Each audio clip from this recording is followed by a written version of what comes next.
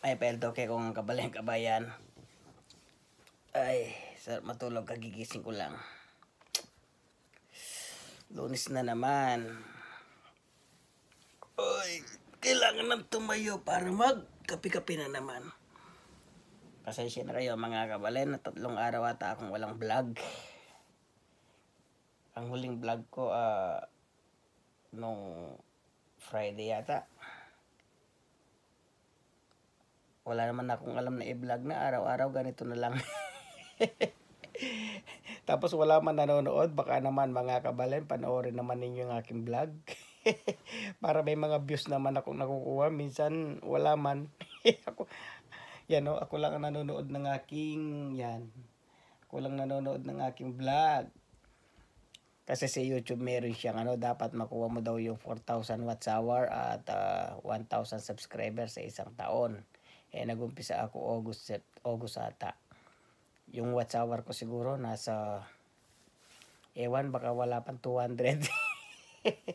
tapos, tapos yung subscriber ko, yun, no, nagkaroon ako ng 131 yata subscriber. Malaki-laki na yun para sa akin mga kabalin. Ibig sabihin, 131 na yung gustong manood sa akin. Pinilit ko pa siguro yun, no? napilit ng iba yun. Kasi sinashare ko yung video ko eh. Wala, ang minsan nga chinachat ako ng ibang mga friends ko, sabi nila, tumigil ka nang mag-vlog kasi wala nang manonood. hindi ka naman kikita dyan kapag ganyan, sabi nila. Eh ako, ang ano ko lang, kahit hindi kumita, okay lang, kahit na walang ganong manood.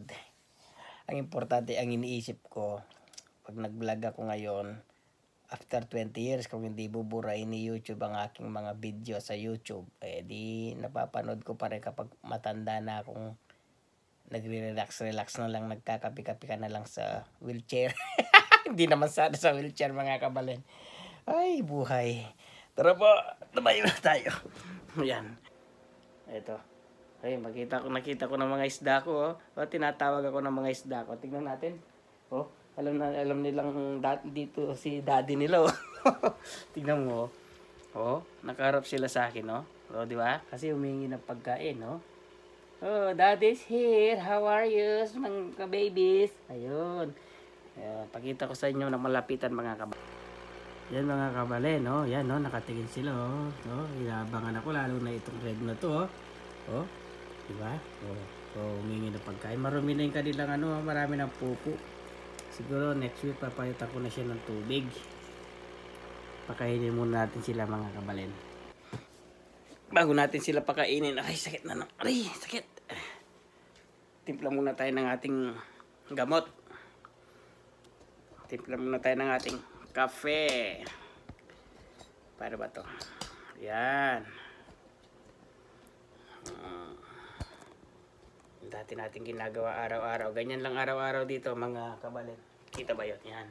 Ganyan lang araw ginagawa dito mga kabalin. Magtrabaho, magising kape. Teka, di pa ako nakapagilamos. Sandali lang mga kabalin. Yan mga kabalin, nakapagilamos na po tayo. Tipla tayo ng ating kape. Tapos pakainin natin ang ating alaga. Hmm, sarap talaga ng kape mga kabalen. Tara, kape tayo dito sa tapat ng aquarium. Pakainin natin ang ating mga pet. yeah.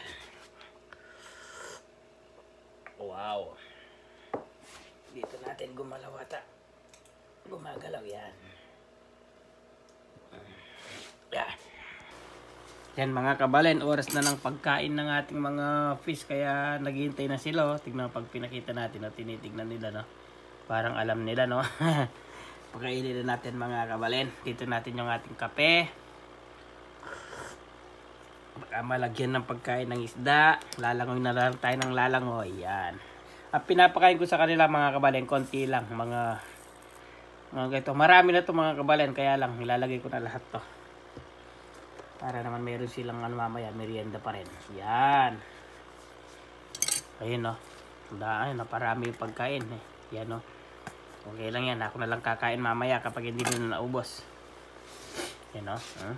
diba saya siya nila no may mga pagkain na naman sila sa kanilang papang yan ito sabi nila Fighting fish daw ang tawag sa kanila dyan. Kasi nga ito, hindi daw pwedeng may kasama. Aawayin daw niya itong mga goldfish. Eh, okay naman. Hindi naman siya nakikipag-away. Tinuruan ko kasi siya. Sabi ko, wag mong awayin yung dalawang yan. Kasi mag-isa ka lang. Kapag inaway mo yung dalawang goldfish na yun, magkalahi yan, inaway, ka, ah, inaway mo yan, siyempre pagtutulungan kanila kako. Kaya siguro ito nakinig siya. Siya, umihiwalay siya. Ito, nandito sa babayan, umihiwalay siya, takot siya. eh. Nakinig, at least nakinig sa aking konting payo mga kabale. Sa ngayon ay dahil tuyo na ang ating lupa, spray spray at diligin muna natin. Pwedeng spray, eh, pwedeng diligin na mga kabalen. Kaya lang ako, ini-spray ko siya para medyo mawala pa rin yung, siyempre kahit nasa loob siya ng bahay, maalikabok. Kaya spray muna natin siya para matanggal yung alikabok at ano po mga kabalen, ito po plastic na hanap ko, nakapatong ito. Ngayon, ililipat ko siya dito. Bubutasan ko na lang siya. Ito, bubutasan ko. Malaki siya eh. Malaki siya dito. At least, mailalagay natin siya ng buo. Bubutasan ko to ng ito. Screwdriver. Uh-oh. Paano ba to? Ito. Screwdriver na may screw. Yan. Siya yung pambubutas natin dito. Para magkaroon ng butas tapos ibili na lang natin siya o ihanap na lang natin siya ng pinaka plato niya para kapag dinidiligan natin hindi na ng tubig sa baba. Yan. Sa pag ay nasira mga kabalin. Patay. Yan, lumaki tuloy yung butas niya. Bali gawin natin mga kabalin. Takpan na lang natin siya ng ano kasi ngayon lumaki yung butas. Takpan na lang natin siya kumuha ng plastic na pinagbalatan ng mga ano, gatas. Takpan natin ng konti kasi masyadong malaki yung butas niya. Nasira siya eh. Malutong pala siya. Tapos ilagay na natin to. Tara mga kabalin, samahan niyo ako. Nasira! Ito mga kabalin, nakaharap na ako ng plastic. Bubutasan natin. Kukunin natin yung pinaka sukat nun. Lagay na, ipatong natin to para yung butas na lagi medyo matakpan. Tara mga kabalin, samahan niyo ako. Balik kunin muna natin yung pinakasukat niya. Ayun, sakto lang siya. Tapos gupitin natin to. Buti na lang may napulot tayo mga kabalin. Malutong kasi yun eh. Kaya nung pagtusok ko ng tornilyo, nasira agad. Kaya yung butas lumaki. So, gupitin muna natin yung pinaka ano niya. Gawin natin pinaka bilog.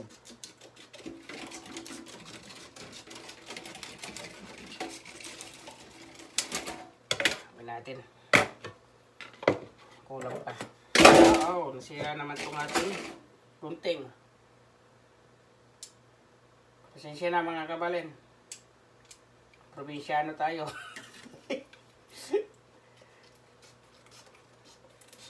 Yan. Para naman, at least ito, kahit di na natin butasan, okay lang kasi, hmm? kasi kahit takpan natin to dito, tutulo pa rin yung tubig kasi butas pa rin siya. Oo, tutulo pa rin. Huwag na natin butasan itong, ito siya mga kabalin. Yan, natakpan na siya. Huwag na natin butasan to kasi tutulo pa rin yung tubig niya kasi mayroon siyang ano eh. Pero laki na itong sa gilid. Kaya butasan na natin mga kabalin. Kahit konti lang.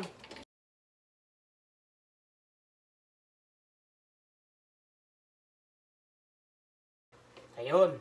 Ito mga kabalin, mayroon ng butas. Nilagyan ko ng butas na tatlo. Tapos lagay na natin ng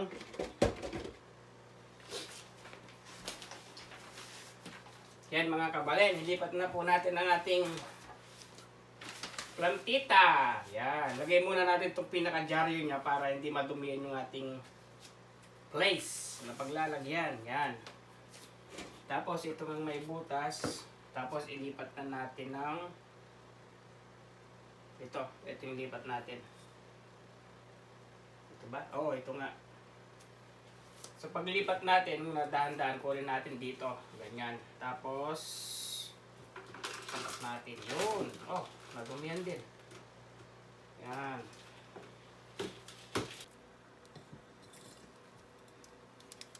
Maganda tong paso na to, malaki siya. Di tulad nung pinaglipatan natin, maliit.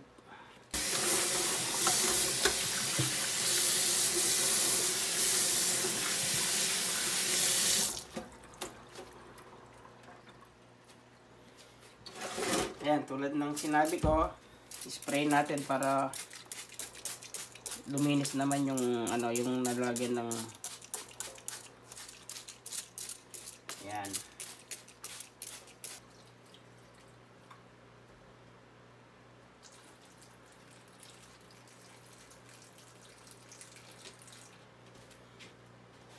Yan po mga kabalen. Diyan muna natin lagay yung ating mga halaman kasi tumutulo pa yung tubig.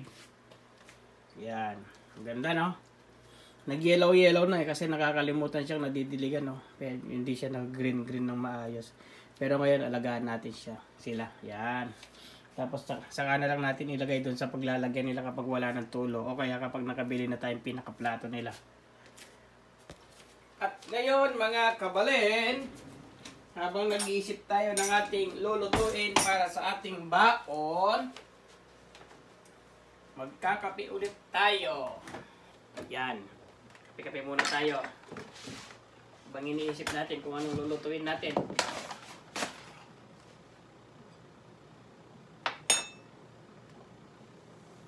Yung aking mga kangkong, yung mga binili kong buto, yung water spinach yun. Tumutubo na nilagay ko lang sa may pinaka-bucket. Sarap talaga ng kape mga kabalin. Pero mas masarap yung kape walang gatas. Kasi sa amin, nung nasa Pinas ako, di man ako nagagatas para mas masarap yung walang gatas. Dito kasi iba yung klase, lasa ng kape eh. Sa atin yung Nescafe talaga natin, yun ang masarap. Dito iba yung Nescafe, ewan ko, iba yung Nescafe dito. Mm, sa tagal ko na dito, feeling ko parang hindi ako makakapagkape na walang gatas dito. Ewan ko lang baka nasanay natin tulad sa Pilipinas. Yung 25 gram, 50 grams na kape, minsan dalawang araw lang sa akin. Kasi minsan di ba hindi ako kumain umaga. Basta nagkakape. Tanghali habang kumakain ng tanghalian, kape. Minsan matutulog. Gigising ng alas 4, kape.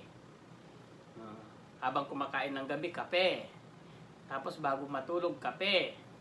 Eh kung wala ka pang ginagawa, kape. Gigising ka ng madaling araw o kaya hindi ka makatulog, gigising ka ng alas 11 ng gabi, kape. Gigising ka ng madaling araw, alas 4, kape. Kaya, nagmukha na ako ng kape. Paano po mga kabalen? Hanggang dito na lang ang aking vlog ngayong araw. I-edit ko na to para may mapanood kayo. Kasi 3 days ata akong walang vlog. Sana po sa mga bago sa aking channel, please like, subscribe, and share. O kaya naman, eh, panoorin po ninyo para sabay-sabay nating makuha ang ating 4,000 watts hour at ang ating 1,000 subscriber. Yun ang hinihiling ni YouTube. Ako hindi ko pa nakuha. Sana po mga kabalen, kung kaya naman ninyong mag-subscribe, kung kaya naman ninyong manood, salamat po ng marami. Kahit hindi ko kayo kilala, magpapasalamat pa rin ako sa inyo. Ano po?